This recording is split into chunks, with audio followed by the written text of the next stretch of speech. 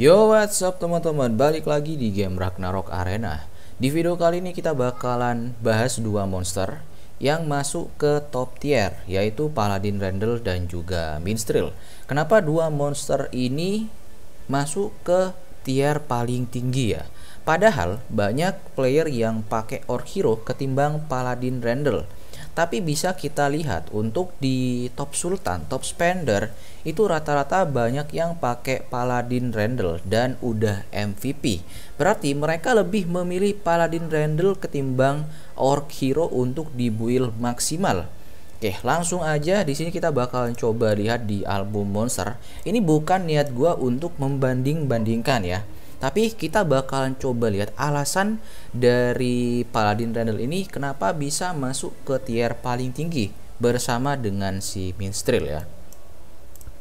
Kita membicarakan kalau misalkan si Paladin Randall ini udah maksimal atau minimal mini boss lah ya minimal mini boss teman-teman karena kalau udah mini boss itu bakalan mengaktifkan equipment eksklusif ini Oke, kita bahas dulu yang pertama mulai dari skill ultimate.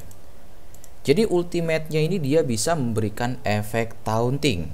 Gak bisa ngeluarin skill dan pengguna skill ini pasti akan jadi target utama. Itu ya, bagusnya si Paladin Randall justru karena ada efek tauntingnya itu. Musuh jadi auto nyerang ke monster Paladin ini dan monster kita yang lain itu jadi aman untuk ngehit lawan-lawannya. Itu yang pertama karena dia ada efek taunting ya. Dan gak cuma taunting itu sekedar taunting doang ya. Taunting itu bisa menurunkan physical, magical attack, dan juga physical defense dan juga magical defense. Nah ini physical attack-nya sama magical attack-nya nurun sebesar 50% musuhnya dan juga defense dan magical defense itu menurun juga 30% selama 4 detik. Jadi itu kesempatan yang besar banget untuk DPS kita membunuh lawannya. Oke, itu yang pertama. Ultimate-nya ini berbahaya banget. Jadi nggak sekedar taunting doang musuh bisa nyerang ke monster kita. Jadi semua musuh yang kena taunting itu dia bahkan mengalami penurunan attack maupun defense-nya. Terus yang kedua skill yang bagus menurut gua yang keempat ini teman-teman. Kalau udah level 3 untuk setiap satu detik dalam pertempuran HP max ditingkatkan sebesar 1,6% sampai 72%. Ini setiap detiknya ya. Berarti Paladin Randall ini dia spesialis tank yang harus bisa bertahan lama banget Semakin lama Paladin Randall bertahan, dia bakalan semakin tebel dan semakin kuat. Makanya Paladin ini cocoknya kalau kita komboin dengan Job Priest. Job Priest, eh, ingat ya, Job Priest teman-teman. Karena per detiknya dia menambah max HP, terus ditambah heal dari Priest dan ditambah lagi si Priest itu bisa menghilangkan efek debuff kan. Jadi Paladin ini bisa jadi safe banget dan nanti gue bakal kasih lihat juga kalau Paladin ini bisa menghilangkan efek kontrol dan oh ya ini ya untuk setiap satu detik nambahin max HP dan setelah 20 detik setelah 20 detik kebal terhadap efek kontrol dan setelah 35 detik kebal terhadap kritikal ini bagusnya udah dia max HP-nya tiap detik nambah kalau di heal terus sama job ataupun dapat heal dari monster yang lain, dia bakal lebih bertahan lama. Terus setiap 20 detik dan 35 detik dia bisa kebal terhadap efek kontrol dan juga kritikal. Oke, jadi mantep banget ya. Dan nanti di equipment eksklusif ini bisa mengalami penurunan ya detiknya. Ini kan 20 detik. Nah, kalau udah aktif di equipment eksklusif nanti bisa cuma 15 detik atau berapa gitu nanti kita coba lihat dah terus untuk skill yang kedua untuk level 4 nya ini ya ini biasa aja untuk skill kedua Shield of Earth aktif setelah terkena tiga serangan normal damage berkurang sebesar 29% untuk 7 detik setelahnya. Dan aktif tiap 6 detik. Oke cooldownnya 6 detik untuk skill yang kedua ini. Tapi meskipun mengalami penurunan damage ya mengalami damage-nya berkurang dia mengaktifkan provoke yang berjalan akan langsung memulihkan 55% physical attack plus 2400 HP ke dirinya sendiri. Jadi tank yang bagus itu nggak cuma mengandalkan heal dari monster yang lain, melainkan dia bisa recover HP-nya sendiri meskipun nggak sebanyak roll healer ya, karena beda role teman-teman. Jadi dia bisa merecover HP-nya sendiri meskipun dia rollnya tank. Makanya dia bisa jadi bagus banget dan masuk ke top tier. Ini ya, mengaktifkan mengaktifkan provoke dia bisa heal HP sendiri coy. Dan yang terakhir untuk skill ketiganya. Chance-nya cuma 25% aktif saat menerima serangan normal, mengurangi magical damage sebesar 30% selama 5 detik. Entah ini mengurangi magical damage siapa ya? Mungkin musuh mungkin. Cooldown skill 7 detik. Jika provoke diaktifkan selama efek ini berjalan, physical attack plus 4600 damage akan diberikan ke unit musuh di sekitarnya. Oke, biasa aja sih skillnya tapi kalau ini mengurangi magical damage musuh 30%, ini berarti bagus banget teman-teman. Karena di sini nggak ada keterangan dia mengurangi di magical damage untuk siapa gitu ya. Tapi gue belum coba lihat untuk yang bahasa Inggrisnya sih. Untuk translatean bahasa Inggris. Bentar gue coba cek dulu. Reduce medical damage di sini gak ada keterangan juga sih untuk siapa untuk pengurangan magical damage-nya kemungkinan untuk musuh paling. Dan dia ada damage juga yang diberikan ke musuh di sekitarnya. 95% physical attack plus 4600 damage. Jadi yang paling bagus itu yang skill ultimate dan juga yang fate ini ya. Yang bisa nambahin max HP nya per detik bisa imun terhadap efek kontrol dan imun terhadap kritikal. Anti kritikal coy. Gimana? Gokil nggak nih Paladin Randall kalau udah late game? Di sini ya. Musuh yang terkena taunting udah mengalami penurunan. Defense mengurang mengurangi penurunan attack juga. Lanjut ke equipment eksklusif. Hero Sword and Shield Paladin Randall Unit musuh ini kalau udah aktif ya. Unit musuh yang dirusak oleh Shield of Light kecepatan castingnya berkurang 20% selama 4 detik berikutnya. Oke, musuh itu kalau nyerang itu bakalan melambat ya. Yang terkena eh yang dirusak oleh Shield of Light. Shield of Light itu yang ini ya berarti ya. Skill yang ketiga teman-teman. Itu mengurangi kecepatan casting 20%. Jadi melambat musuhnya nantinya. Terus untuk plus 10-nya, pengurangan kecepatan casting ke unit musuh karena Hero Sword and Shield. Berarti karena ini ya. Ditingkatkan menjadi 30%. Wah. Musuh semakin lama semakin melambat dong. Udah diperlambat, udah dikurangi defense attack-nya, udah paladinnya sendiri tuh kebal terhadap imun ter kebal terhadap kritikal ya kan? Terus untuk plus 20 kekebalan iman. Ini berarti imannya jelek sih paladin Randall ya. Kekebalan iman terhadap efek kontrol dipicu 5 detik lebih awal. Nah ini yang gua maksud tadi ya. Setelah dia plus 20 di equipment eksklusifnya yang tadinya di bagian fade ini aktif untuk imun terhadap efek kontrol itu setelah 20 detik dia dikurangi 5 detik jadi cuma 15 detik doang ya. Dipicu 5 detik lebih awal. Berarti 15 detik udah terpicu dan kekebalan terhadap serangan kritikal itu dipicu 10 detik lebih awal yang awalnya itu cuma eh yang awalnya itu 35 detik dikurangi 10 berarti 25 detik lebih awal ya. Eh 25 detik dari awal. Itu bagusnya. Terus yang terakhir plus 30 saat formasi Randall mengaktifkan kekebalan fate kekebalan fit yang tadi ya efek kontrol dan juga kritikal untuk mengontrol dan efek critical strike di bagian depan karakter lain di barisan depan juga akan mendapatkan efek yang sesuai. Jadi monster kita yang ada di barisan depan itu bakal mendapatkan efek yang sama dengan si paladin ini. Kurang apa lagi nih paladin ya kan? Kenapa dia masuk ke top tier? Bisa kalian lihat dari tadi yang gue jelasin ya. Oke, gue rangkumin aja ya. Paladin Randall.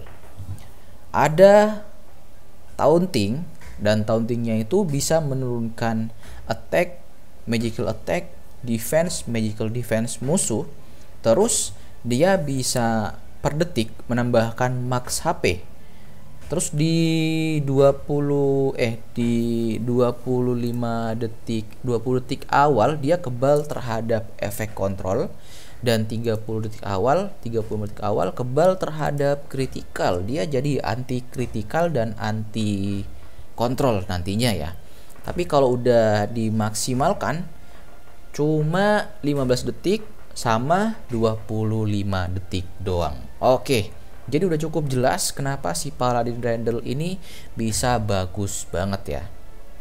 Gue udah pernah cobain di akun yang pertama pakai Paladin Randall dan itu cukup efektif sampai gue nyampe ke adventure 26 tapi sayangnya di situ gua kekurangan DPS sih. DPS gua yang kurang mendukung teman-teman. Makanya gua masih ngestak di chapter 26 next kita bakalan bahas untuk minstrel ya. Nah sebelumnya gua belum pernah dapetin minstrel dan belum gua pernah pakai juga ya. Dia adalah monster support yang bisa ngasih efek debuff ya. Posisi di buff R control support. Jadi di buffnya ini ngeselin banget si minstrel. Gue udah pernah ketemu sama monster ini kalau ngepush stage ya kita coba lihat dulu untuk ultimate-nya. Menyebabkan 210 physical attack plus 8600 damage ke semua unit musuh. Ini serangannya untuk all enemies ya. Dan damage-nya pun lumayan tinggi loh. 210% dan 8600 saat unit menderita dari Peng Voice mungkin ini serangannya bisa menghasilkan Peng Voice tapi gue nggak tahu Peng Voice itu apa ya artinya akan merefresh durasi dari semua Chaos Note mungkin dari efek-efeknya ini ya soalnya nama, nama dari skillnya Eternal Chaos juga mengurangi defense selama 7 detik. Hah? Ini berarti bagus banget kalau kita komboin dengan Paladin Randall ya. Mengurangi defense selama 7 detik. Wah, gokil sih ini. Dan tiap Chaos Note mengurangi defense target sebesar 12%. Oh, Chaos Note ini Chaos Note ini mengurangi defense target musuh ya. 12%. Bisa ngestak juga nih kayaknya sampai 3 chaos note ya sampai ngestak 3 berarti sampai 36% dong kalau misalkan sampai 3 stack dan selama skill aktif, kemungkinan Chaos Note aktif meningkat sebesar wah chance-nya cukup tinggi juga ya 50% teman-teman. Gokil sih ini. Kalau dikomboin dengan Paladin Randall. Itu untuk skill ultimate ya, mengurangi defense. Dan untuk Peng Voice, oh ini dia Peng Voice ya. 20% kesempatan untuk aktif saat serangan normal. Physical attack 14.000 14.700 di make loh. Ke unit musuh terdekat dan membuat chaos note lagi. Ini rata-rata skillnya ada chaos note-nya ya. Berarti dia tipenya debuff yang ngurangi defense lawan yang bertahan selama 10 detik. Wah, ini lama banget sih. 10 detik itu lama banget loh teman-teman. Untuk menempel ke target. Cooldown skill 8 detik. Chaos Note menyebabkan 50% physical attack damage. Nah, ini beda lagi kah Chaos Note-nya? Menyebabkan 50% physical attack damage tiap 3 detik dan tiap Chaos Note terbuat dari skill yang memberikan damage juga mengurangi max energi. Wah, Kemarin kita lihat ya, ada top spender yang pakai Paladin Randall, terus pakai Minstrel, pakai Cecil, terus satunya pakai Hermes teman-teman. dan untuk jobnya itu pakai priest berarti emang combo dark dan juga light ini OP banget ya. Ini kan bisa mengurangi max energi sedangkan Cecil itu juga bisa mengurangi energi teman-teman. Tapi ini max energi ya bukan energinya. Max energi musuh sebesar 2% Oke, yang jelas di sini Chaos Note menjadi senjata utama dari Minstrel. Kalau ultimate-nya mengurangi defense ya. Dan untuk skill yang ketiga, Chaos Scream aktif setelah tiga serangan normal. Membuat Chaos Note yang bertahan selama 10 detik. 10 detik juga untuk menempel ke tiga unit musuh secara random dan memberikan status tier 4 Dark Shadow. Tier 4 Dark Shadow berlangsung selama 6 detik selama durasi skill Physical attack, magical attack berkurang sebesar 50% dan ada 40% kemungkinan untuk memberikan efek stun selama 2 detik. Wah, ini emang bagus banget sih kayaknya dikomboin dengan Paladin Randall ya. Paladin Randall dikomboin dengan Minstrel udah OP banget sih. Dua monster tier S ini ya. Bisa mengurangi physical attack dan juga magical attack 50% loh teman-teman. Paladin Randall pun juga gitu ya. Bisa mengurangi physical dan juga magical attacknya. Musuh jadi nggak sakit banget ya kan Pantesan kemarin yang pakai combo full LND itu menang dengan lawan yang di atasnya dia. Padahal lawannya itu Sultan juga, tapi dia nggak pakai full LND, tapi udah MVP dan MVP-nya ada bintangnya. Sedangkan yang kemarin nanti kita coba lihat deh, yang top Sultan kemarin ya. Kita cari teman-teman. Soalnya sekarang kan udah grand final juga. Next untuk yang keempat Dead Ehos. Saat ada karakter mati di arena secara random memberikan chaotic note ke unit musuh yang bertahan selama 10 detik. Ini rata-rata semuanya 10 detik ya. Meningkatkan durasi dari chaos note yang sudah muncul dari skill lain selama 6 detik. Oke, berarti chaos note ini berbahaya banget dari si minstrel Dead Ehos 10 detik loh durasinya ditambah chaos note yang sudah ada dan equipment eksklusif Sorrowful Loot saat Minstrel masih hidup durasi sebagian efek debuff musuh meningkat hah? debuff yang paling ngeselin ini sih pantesan dia masuk ke top tier ya karena dia di buffer paling mengerikan coy saat minstrel masih hidup, musuh mengalami peningkatan efek pengurangan energi. Energinya dikurangi lagi. Saat minstrel masih hidup, durasi sebagian efek kontrol musuh meningkat lagi. Setelah kematian minstrel, efek lain yang dihasilkan oleh Sorrowful menca akan mencapai 70% dari efek saat minstrel masih hidup. Hah? Hidup ataupun mati, minstrel tetap bagus loh teman-teman. Tetap berguna ya wah dua monster top tier ini kok kayaknya ngeri banget gitu ya pantesan kemarin ada yang aduh kenapa ini?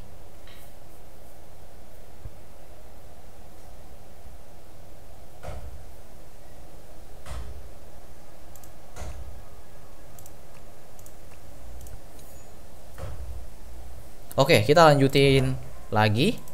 Nih, dapetin dua topi lagi, coy. Itu tadi hampir 20 menit ya berarti 10 menit dapetin satu oke yang terakhir deh. Kita bakalan coba lihat battle di Pinnacle arenanya. Wah di sini masih diadu lagi dong. Masih diadu lagi. Oh ini yang Pinnacle turnamen 7 oh enggak cok. Ini berarti yang masuk setelah bentar gue coba cek dulu dah. Aduh nggak bisa dicek cok. Kita sayangnya nggak bisa ngelihat Sultan yang kemarin ya. Sultan yang kemarin yang pakai full LND mungkin next sih. Besok mungkin gue bakalan coba cari Untuk Sultan yang pakai monster full LND, kita coba lihat combo dari Paladin Randall dan juga Minstrelnya. se-OP apa. Pastinya di sini udah ketemu sesama Sultan sih ya. Kalian bisa lihat di sini untuk border yang dipakai rata-rata pakai border yang kayak gini berarti kemungkinan ini adalah top sultan sih yang pakai border-border seperti itu teman-teman. Oke, jadi seperti itu aja dulu untuk video kali ini. Makasih yang menonton. Sampai jumpa di next video. Thank you.